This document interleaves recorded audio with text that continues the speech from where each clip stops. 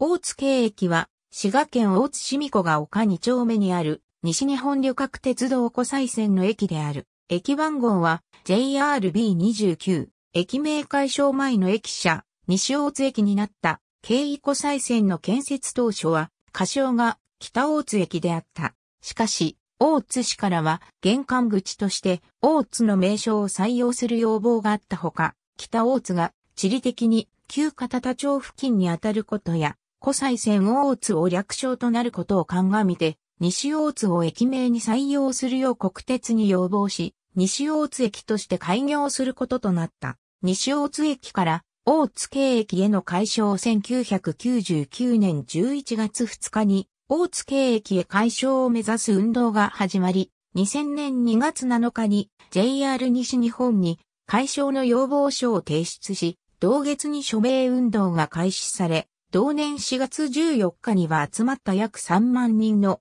署名を提出した。しかし、同年中の駅名変更は多額の経費を地元が負担しなければならないという課題があり、実現しなかった。そこで2003年8月21日に大津市長に同年9月1日には滋賀県知事に駅名変更の要望書を提出するなど地元自治体への請願が行われた。こうした働きかけを受けて2004年3月2日に大津市長が駅名変更に取り組むことを会見で表明し、JR 西日本も前向きに検討することを表明して実現へ向けた動きが本格化することになった。そこで2006年秋に琵琶湖環状線が開業するのに合わせて、小ご駅の小ご温泉駅への解消と合わせて行う方針を2005年9月15日に大津市長が市議会で表明し、経費を大津市が負担する方針を示した。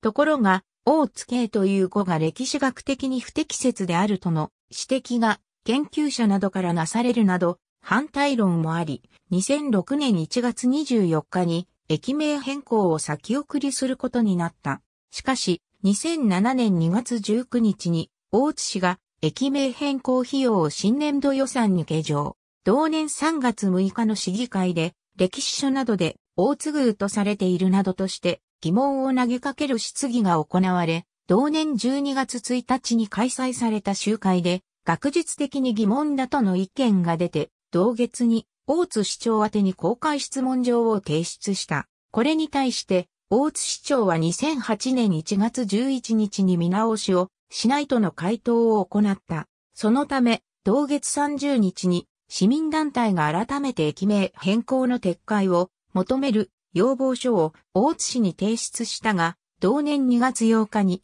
大津市長が改めて撤回を拒否した。しかし、同月10日に行われた講演会でも歴史研究者らが大津系の存在を否定するなど、反対論は根強く残り、大津市の関西委員への監査請求も行われたが、却下された。島式ホーム2面4線の停車場で、退避設備を備えた、高架駅になっている。改札口は2階で、ホームは3階にある。改札口から各ホームへは、ホームエレベーターが1本、階段が2本ずつ通じている。また、地上から改札口へは、上りエスカレーターエレベーター、階段が通じている。緑の窓口が設置されている。長らく直営駅であったが、2013年4月1日より JR 西日本交通サービスによる業務委託駅となった愛子か利用可能駅。日中時間帯は1時間あたり4本が停車する。長時間帯は